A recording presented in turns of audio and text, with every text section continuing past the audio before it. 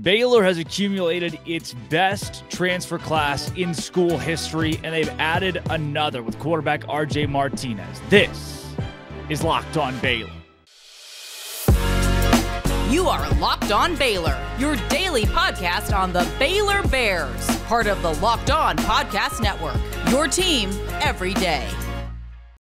Happy Wednesday, everybody. Welcome to Locked On Baylor, and thank you for making this show, Locked On Baylor, your first listen every single day. Drake Toll from Sports Illustrated's Inside the Bears, alongside John Garcia Jr., the Director of Football Recruiting at SI.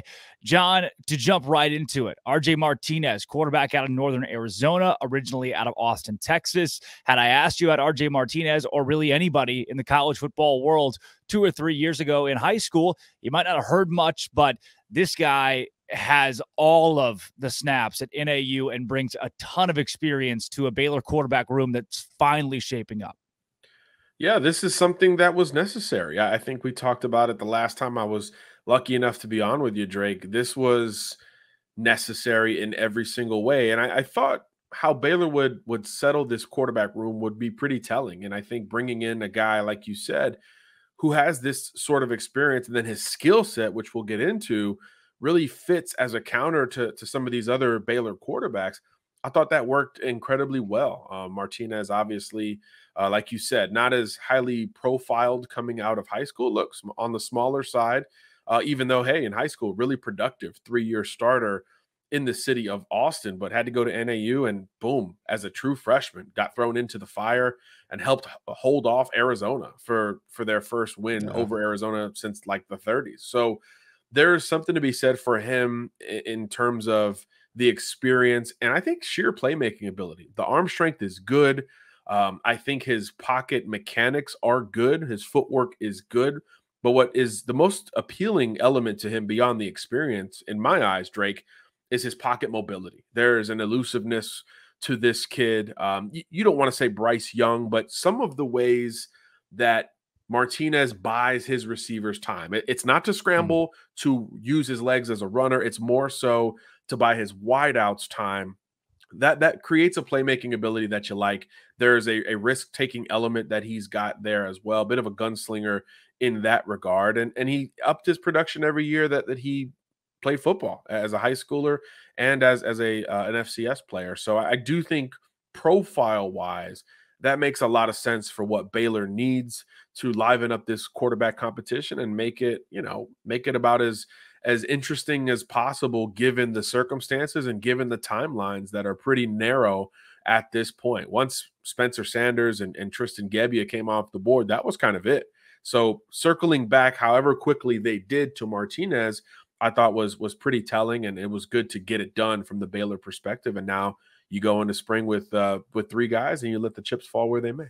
Yeah, the the mention of Martinez and what he can do with his legs, he's not going to Josh Allen light you up. He, he's not going to get uh, north and south very often. But even looking at his, his rushing numbers, 70 carries for 68 yards this past year with a fraudulent Northern Arizona offensive line. You, you expect sacks were big at play, but still eight rushing touchdowns. So when he's got to get it done, he's got the he's got the moxie to do it.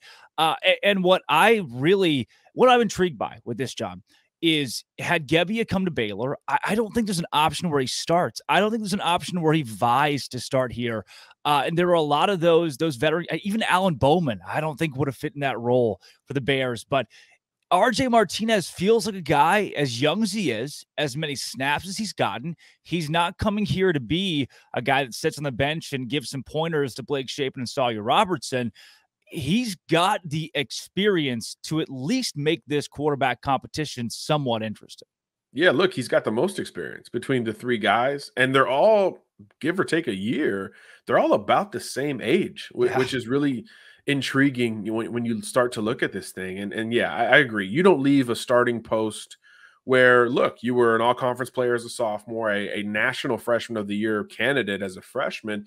You don't leave that post to go, like you said, sit the bench and and be a mentor to kids that are your age at yeah. your position. So at least from his perspective, you you want that chip on your shoulder going back to your home state of Texas to go try to light it up for a program that like every other Power 5 school overlooked you at that level. That that that is a different motivation. It's a different energy that I would presume comes into those quarterback rooms. And skill set wise, again, he plays with that. He plays with energy. That's actually probably the best way to describe him. Mm. There's not one elite trait, but combined with that energy uh, and this playmaking ability, there's there's some gamer in this this quarterback. So I, I do think it's a good situation for Baylor relative to one, all those other quarterback dominoes falling, and two, how hard it is to get a second QB. Once you mm. already have one in the portal committed, especially when you've got a returning starter, really hard to imagine a scenario where you can get a third, yet and still Baylor is one of the few schools that has been able to accomplish it. Yeah, you mentioned gamer, uh, and, and, John. In the middle segment, I want to jump back into the quarterback room where we hit last week, and now things have been altered even further. Uh, but gamer from Martinez, 452 passing yards against Montana State. I know a lot of people out there are going to think, okay, you got a guy who's coming from the FCS ranks, but 452 and three passing touchdowns against Montana State. That that says a lot of the FCS ranks and three and eight record, but of his six FCS losses, five were within one score. You said gamer. Expand on that a little bit more, because because that's even what this this schedule and his stat line. That's what it says. A gamer gives you a shot, man. That that's that's what it is. It's it's a guy who can play within the margins and compensate for some of the physical limitations that he and or his personnel or offense may present. Um, you know, Brock Purdy's getting a lot of that in the NFL right now, right? He's a mm-hmm. gamer, right? He doesn't have to do the Josh Allen, uh, you know, Joe Burrow type things, but he's still finding a way to make a similar statistical impact. And I think that's where you can see some of those same uh, compliments towards RJ Martinez. Uh, the gamer means that you're also willing to get dirty. Um, he's tough. He's taken huge hits while pushing the ball down the field. You mentioned the rushing numbers that are a bit askew because for some reason college football is still docking rushing yardage yeah. when you get sacked. I mean, it's archaic, but it, it's still happening.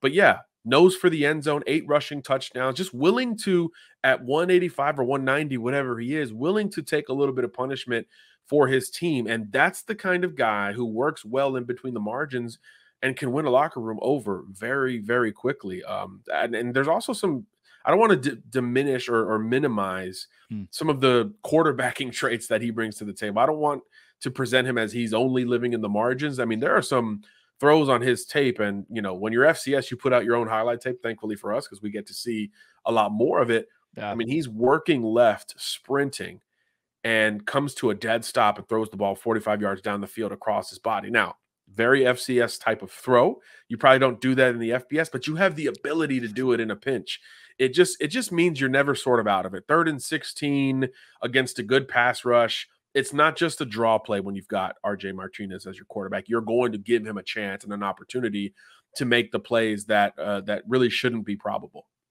John RJ Martinez comes from Northern Arizona. That is that's it's FCS. You you make the jump into the FBS realm, and the, obviously the game changes. But we've seen FCS quarterbacks have a lot of success at the yep. at the pro level, and guys who have transferred up into the Division One FBS level.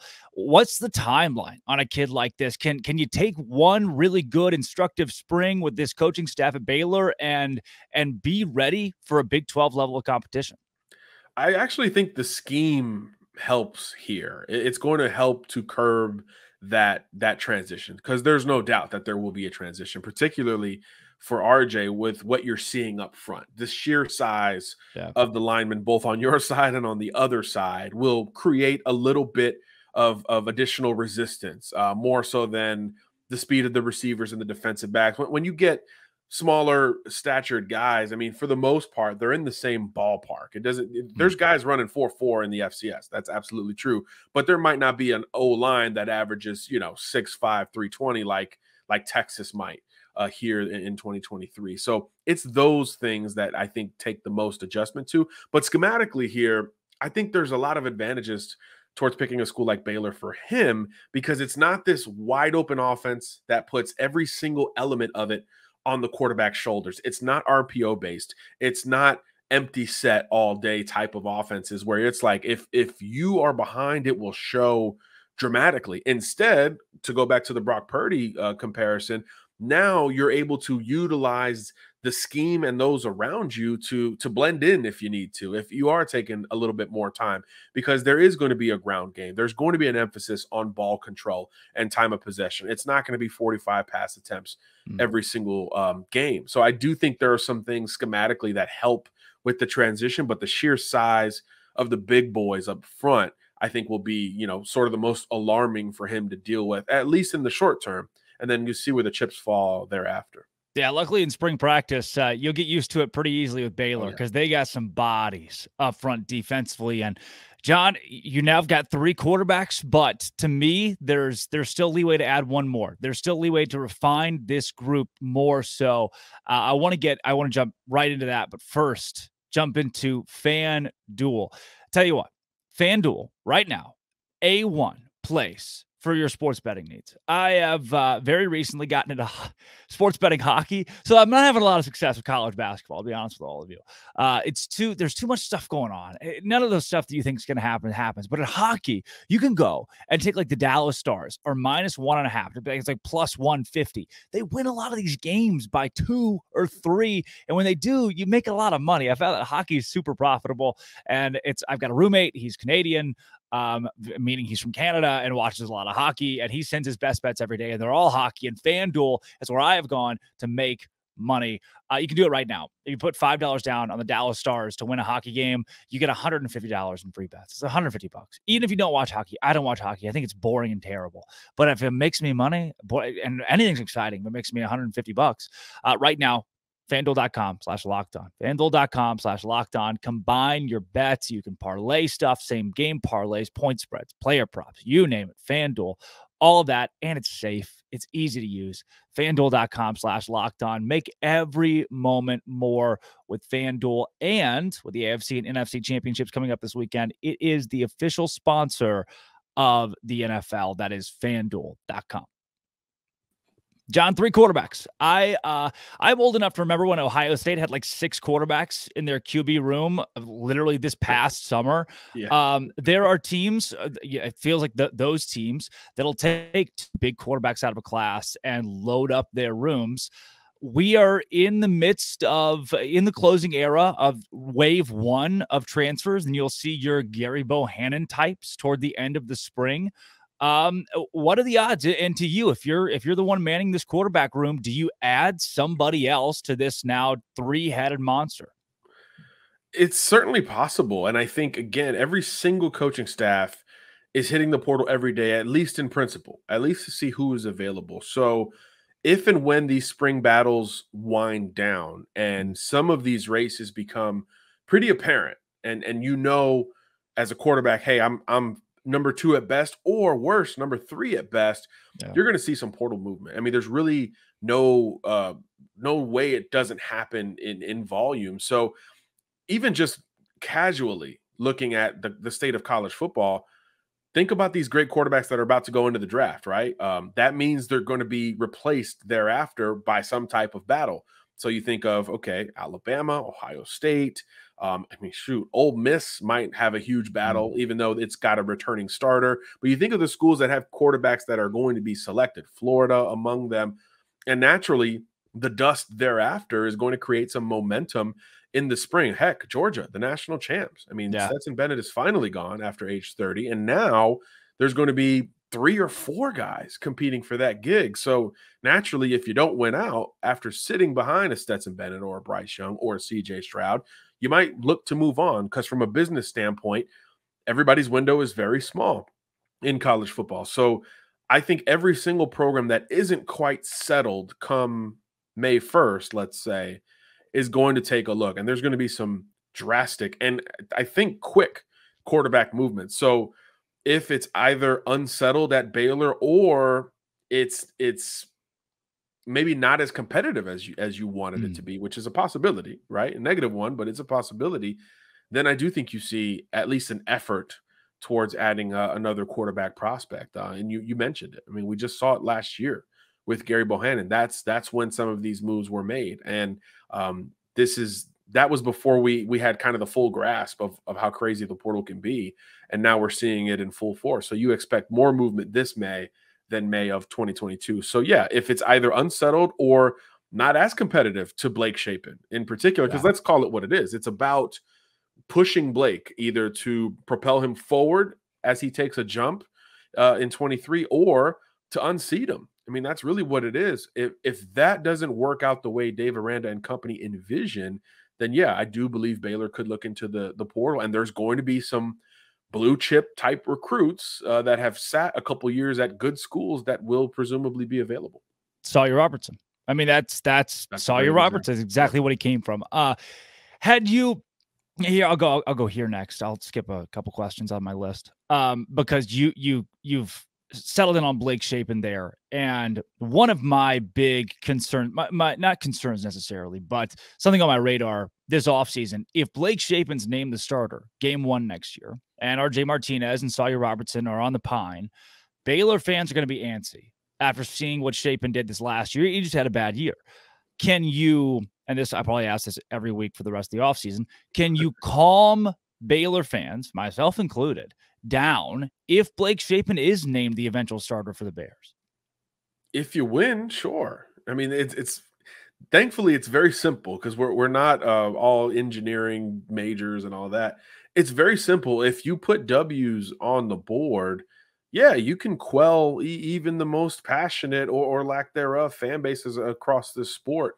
But yeah, it's you better be sure. You, you better have conviction in this decision. And I think it took some boldness last year to, to make the call as early as Aranda did. Right or wrong, he had conviction with it enough to nudge Bohanon towards South Florida and, and allow those chips to fall. So if, if you feel that that same path towards Shapen or anyone else, you, you've got to be sure. Because I think even if it's somebody else, it's still going to be the elephant in the room because you're going to have, if it's not Shapen, you're going to have a very experienced Baylor quarterback sitting on the bench and or another quarterback with at least a couple years of of experience uh, to his name, whether it's Martinez uh, or Robertson. So I think that angst is going to live there um, into September, and we've seen quarterback battles dip into to that month as well. There's nothing, there's nothing in stone that says this battle will be close to settled in May. Hmm. Most mm-hmm. of them, you you start to get the idea, especially if you're on that roster or a coach there, you, you you get the idea pretty early, but it doesn't mean the head man is on board. You know, so I think that is important to factor in as well.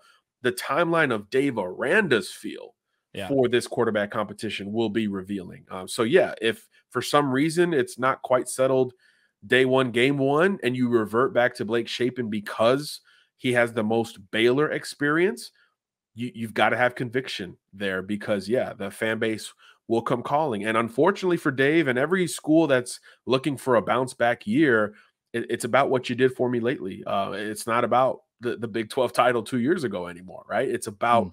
2023. We're now two years removed from from that group, right? So uh, folks have very short term memory, and it's probably shrinking as as time progresses. So yeah, that's going to be unfortunately for Dave. That's going to be the first flagpole moment of, of the 2023 season for Baylor. It's the decision that happens before the first snap is made.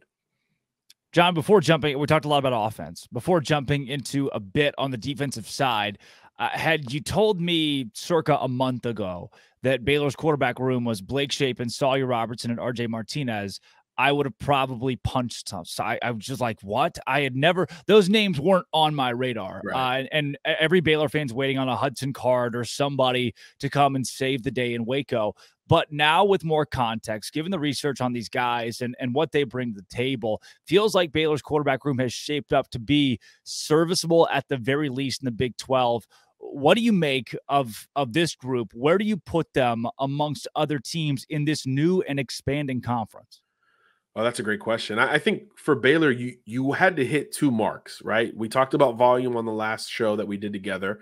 You hit that mark in Sharpie, which is great. You needed to have three guys. They all now happen to have college experience. That is all but ideal. And I, I thought the second mark was you had to have variance, whether it was Hudson Card or Spencer Sanders or whoever. You had to bring in a diverse group of mm. quarterbacks. And I think you have three very different quarterback prospects that are going to head into this battle, right? You, you've got your big Texas air raid, air it out type of passer in, in Robertson, who brings some athleticism to the table as a counter. You've got your chip on your shoulder, run around gamer kind of uh, energy quarterback in Martinez, and then you've got the guy who's who's been there, who's kind of in the middle, right? He's kind of he's kind of flirting between both of those those two uh, characteristic points in Blake Shapen, with of course the the caveat of having the experience at Baylor. So you've got three different style of quarterbacks that are going to go into this battle. I think that's exactly what you could have hoped for. Now the hope is to see it become intense, to see it become close. You, you need those headlines. If you if you're uh, bookmarking some some Google searches on the the Baylor front, you need intense battles uh, and competition uh, feels for this this quarterback group. And then relative to the Big Twelve, look, you've got a handful of schools that are going to make a transition and a handful that are not. I think looking at the schools that finished at or near the top of the league, you've got a lot of transition there. Um, I, I, think well, obviously um, Duggan is gone, Sanders is gone. Martinez finally ran out of eligibility yeah. at K State now. So you're going to see a lot of transition with those programs. And then where you feel like it's supposed to be stable is Quinn Ewers at Texas, but here comes Arch Manning. How does that mm-hmm. look? Speaking of, you better be right. Uh, I think Steve Sarkisian's got a lot more of that on his plate than than Dave Aranda. So I think relative to the rest of the Big 12, you feel good in that you have a lot of variance in your quarterback room, and it's mm. not. There's no shoe in. There's no political politically correct pick at this point. It is totally wide open, and that, that's not something you can say in Austin. It's probably not something you can say in Fort Worth, even though depending on how the portal and high school recruiting shakes out, that could be interesting relative to uh, Mr. Morris. There, it doesn't have to be politically correct at Baylor, and that is traditional, and that's the way that Dave Aranda should want it. So I think in that regard, it's an advantage with three guys as opposed to two, where it's the classic. We've got our returning starter, and then we've got maybe a very different style of quarterback to compete yeah. with him. It's not the case there in Baylor. There are three very different quarterbacks with different levels of experience that all, as we stand today, I feel like have some type of shot. Yeah. Now, John, defensively, Matt Powledge coming from Oregon. Had you told me a month ago that Baylor's D coordinator would be Matt Powledge, uh, I again I was like, okay, well, I hope this works out. And uh, with context and more research, again, it feels like this younger guy who brings a lot of energy uh, can be a mentee to Dave Aranda. And and even right before that, he, he officially took the job. Isaiah Dunson comes from Miami, a, mm-hmm. a highly touted four star cornerback. Uh, there are pieces of this defense that are being solidified. When it comes to Dunson and Powledge and the way that Baylor's adding to this unit, are, are, you confident in this hire still? And and even what does Dunson individually bring that could be a spark? Because he seems kind of that that marquee guy for this this defensive squad. Look, Powledge has experience with Dave. I mean that that's really what it comes down to. Um, if if Aranda was older and maybe more experienced, nobody would bat an eye at this hire because when when a Saban or a Smart does it uh, and brings back somebody that he he knows and trusts and has already coached over, everybody just says, "Okay, yeah, we trust him." So it, it's a, a, big deal, great hire. Um, but when a younger coach does it, it doesn't quite hit the same, but it should, especially when you you get you're given Dave Aranda's credentials. And look, the last time Powledge was there, things were pretty good defensively for Baylor. Okay. This was That's one true. of the best units we've seen in the last few years, independent of of conference. So I think that understanding of the system and how Dave wants to operate will on, not only allow Powledge to be better this time around at Baylor. Obviously, more responsibility is attached to that, but it'll probably free up Aranda a little bit more because mm-hmm. now he's got somebody who already knows and believes in his system. Two hurdles that a new hire are are you know unknown. Those are unknown hurdles for a new hire versus uh, bringing in Powledge. You already have that established, so maybe Aranda could be a little bit more CEO like, which maybe that's hard for him. You know, he's a guy who who has been so defensively focused for so long um, that maybe it's hard for him to take that step back. This will theoretically allow him to do that just a little bit more. And then when you talk about Isaiah Dunson, this is a great fit. You want new age modern corners that can compete and then you got the caveat of experience on top of it here with with Dunson. Um, 6'1, 190 or so, extremely long, a kid who can, or a young man, I should say, who could really run, uh, who's got some pedigree coming out of the state of Georgia, as you mentioned, a blue chip recruit uh, a few years ago. This is uh, following his third year of college ball, an increased role every year, even though he never broke through as that surefire starter. You do feel like he's got the physical tools and now the maturity combined with it to come in and work. And you you don't commit to Baylor on defense if you're not willing to come in and do that. And it should be noted with Dunson that he got over recruited at Miami because of the portal. Uh, Tyrique Stevenson is being mocked in the first round right now. That was the spot that two years ago folks thought Dunson was going to assimilate towards as a starter there at the U. So uh, that wasn't the issue for Mario Cristobal's program this this past season. So I do think there's something to be said for the rest of the cornerback room that he's coming from as well. And then to tie it back to Powledge, look at what he did with that Oregon secondary. That was yeah. a great group last year. Christian Gonzalez is going to be mocked higher than Tyrique Stevenson at top 10 in one draft uh, yesterday that I saw in, in, this time of year. So I think that pedigree is really important uh, on both ends. And and yeah, I think Dunson's going to be a guy who makes plays for Baylor this fall. Dude, Baylor's building it. They got Ed Orgeron's son on staff. Uh, yeah, how do, how do you lose at this point? Um, exactly. It's it's come together. It feels like in the offseason where a month ago there were so many question marks. It, finally it's come together. And John, when we have you on next week, Baylor will probably have another quarterback that we can talk about, uh, or at least hopefully something as this first wave of portal finally starts to wane down. Uh, John, I, I, know your work, even despite that, doesn't stop. Where can people find your writing, not just on Baylor, but across the full scope of college athletics? Yeah, of course. SI.com slash college. And uh, we're, we're talking ball at every level on Twitter every day. John Garcia underscore JR. Eight days till uh, the traditional signing day. So there's still some dust to settle on that front, just like it is in the portal. Yeah, eight days in the whiteboard there. Uh, real exciting. That one got me juiced up today. Uh, John, thanks for joining the show. As always, always a pleasure to get your insight. Thanks for having me. Absolutely. For you, for those out there listening, thank you for making Locked On Baylor your first listen every single day. Come back tomorrow. I think I think if it all works out, RJ Martinez actually joins the show. This has been, always will be, locked on. Thanks for making it your first listen every single day. Baylor.